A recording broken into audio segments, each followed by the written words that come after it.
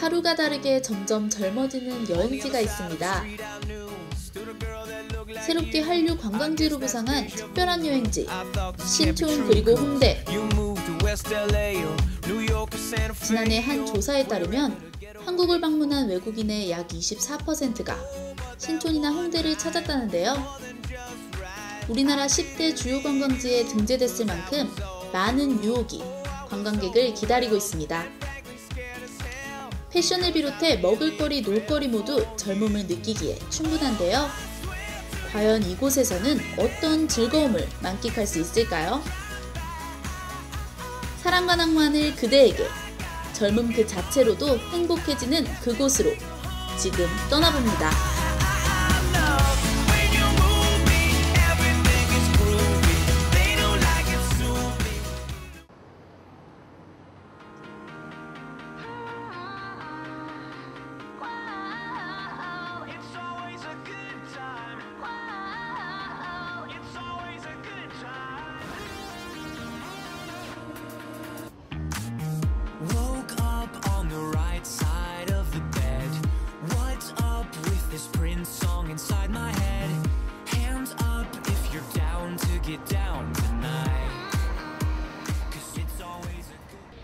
안녕하세요. 양사원입니다.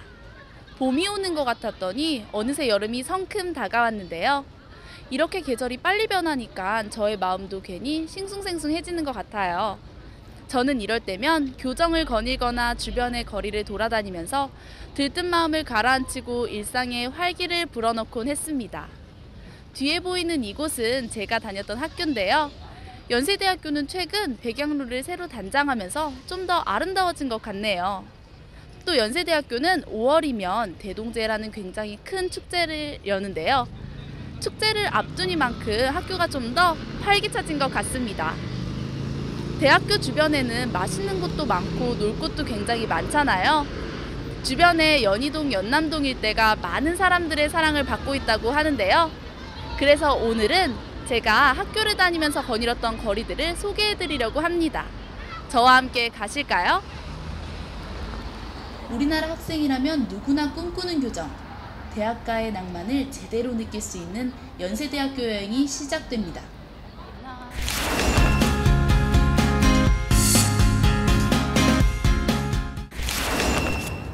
정문을 들어서자마자 이어지는 이 길은 연세대를 대표하는 역사와 전통의 길입니다.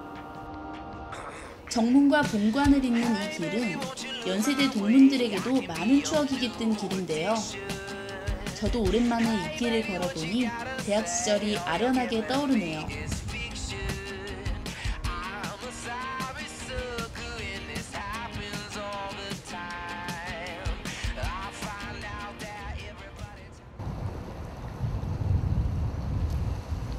학교 가운데에 있는 이 큰 길이 바로 백양로입니다. 원래는 자동차가 다녔던 이 길을 지금은 학생들이 보행로로 이용하고 있는데요. 백양로 양쪽에 푸른 나무들이 즐비하고 있어서 걷기에도 굉장히 좋습니다. 푸른 나뭇잎이 대학생의 청춘을 나타내는 것 같지 않나요? 한번 둘러보시죠. 최근 백양로는 녹지 사업 등으로 새롭게 단장됐습니다. 신촌 캠퍼스 정문과 본관을 잇는 백양로를 2013년 8월부터 2년여에 걸쳐 지상은 녹지로 바꾸고 지하는 주차장과 차량 이동로, 교육 문화시설 등으로 조성했는데요.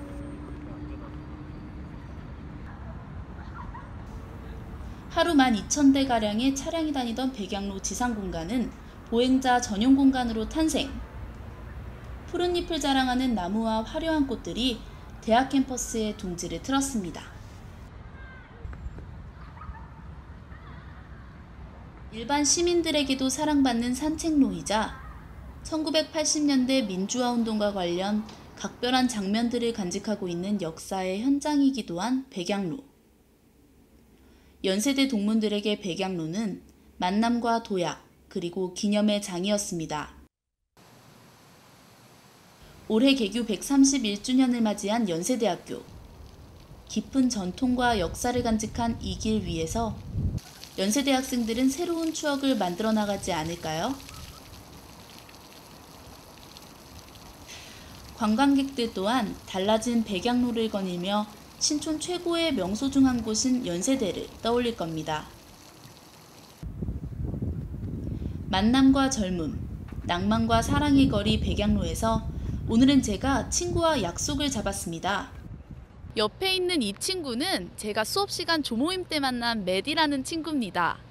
Hi. Hi. 안녕하세요. 저는 미국에서 온 매디고요. 음, 1년 동안 연대에 교환학생으로 와 있어요. 어, 메디가 지금 한국으로 온 지 약 9개월 정도가 됐다고 하는데 여태까지 한국에 대한 느낌이 어떤가요? Um, I think this is one of the most beautiful countries in the world, and I feel so blessed and honored to have the opportunity to come here as an exchange student. It's definitely an experience that has changed my whole life and that I'll never forget. 그럼 지금 연세대학교에서 다니고 있는 거잖아요. 연세대학교에 대한 느낌은 어떤가요?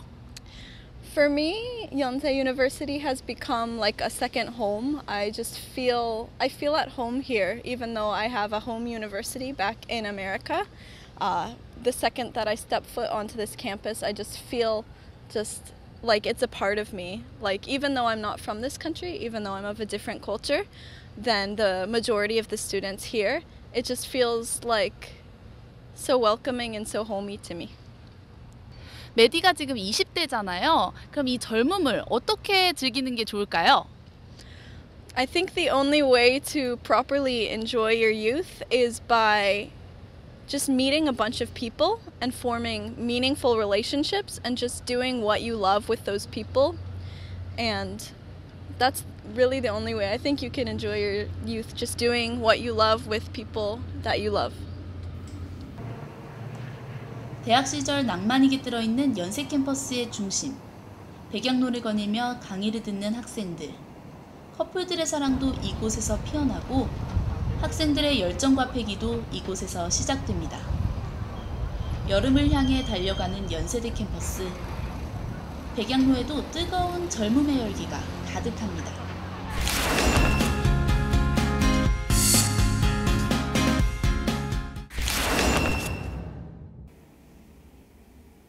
중앙도서관 앞에 가면 연세대를 상징하는 특별한 동상이 있습니다.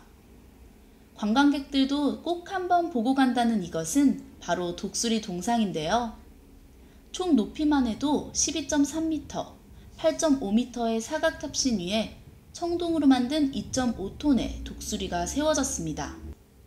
창립 85주년 개교 기념일인 1970년 5월 9일에 제막식을 갖고 지금까지 연세대 캠퍼스를 지키고 있는 독수리 동상. 사실 이 동상은 독수리를 캠퍼스 안에 세우려는 학생들의 염원에 따라 학생들 스스로 700여만 원의 기금을 모아 건립했는데요. 후면에 총학생회의 건립 취지문이 새겨져 있고 내 귀퉁이에는 연세의 역사를 지켜왔던 연세인의 상이 조각되어 있습니다. 연세대학교를 상징하는 색깔은 파란색, 그리고 연세대학교를 상징하는 동물은 독수리입니다. 바로 뒤에서는 독수리 한 마리가 비상을 준비하고 있는데요. 저 독수리상에는 연대생들만 아는 속설이 한 가지 있습니다. 독수리가 어디를 바라보고 있는지 아시나요? 바로 이화여자대학교입니다. 이화여자대학교 쪽으로 독수리가 날아갈 것만 같네요.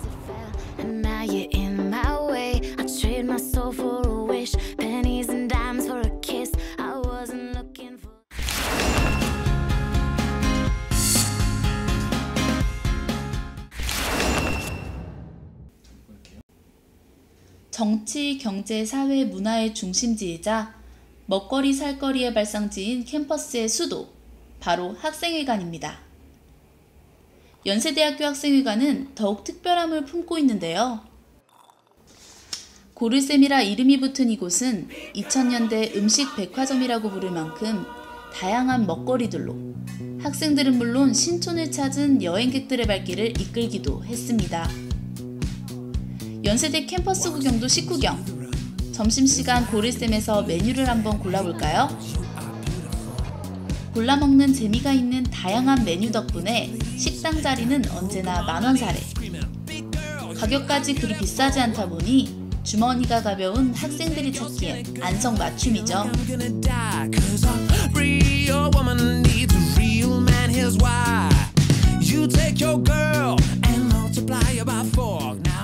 한식에서 경양식, 중식까지 세월은 흘렀지만 음식 백화점이라는 표현이 무색하지 않을 정도인데요. 점심시간을 맞아 주방장의 손길이 점점 바빠지고 있네요.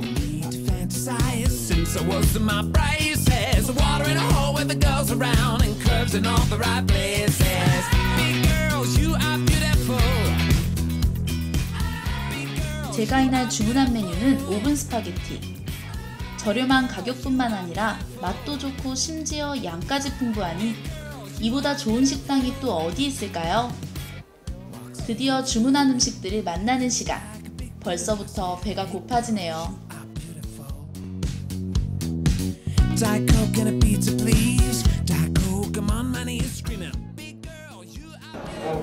여기 음식들이 보이시나요? 학교에서 맛볼 수 있는 파스타들인데요. 약 15,000원 정도에 이렇게 맛있는 파스타를 맛볼 수가 있습니다. 고급 레스토랑 못지않은 음식들, 채소와 해산물 등의 재료들도 아낌없이 팍팍.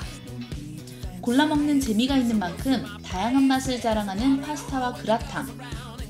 요즘 젊은이의 입맛은 물론 관광객과 외국 유학생들까지도 대만족입니다. 오랜만에 캠퍼스에서 먹어보는 점심. 여전히 정성이 깃든 음식의 맛은 변하지 않는 맛있는 맛. 학교 식당인데도 세 가지 파스타 모두 맛이 일품인데요. 여러분들은 어떤 파스타를 드시고 싶으신가요? 학교 식당에 오셔서 꼭 드셔보세요.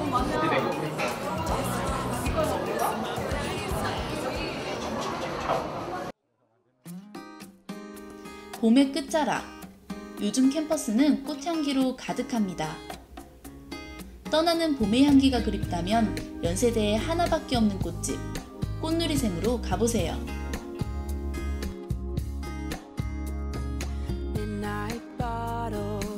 시골들에서 흔히 만나볼 수 있는 꽃부터 화훼 농가에 정성이 깃들어 있는 다양한 꽃들이 기다리고 있는데요.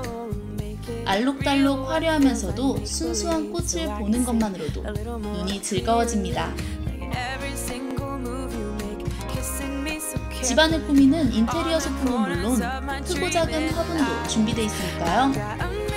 싱그러운 자연이 그립다면 꼭 한번 둘러보시는 것도 좋을 것 같네요.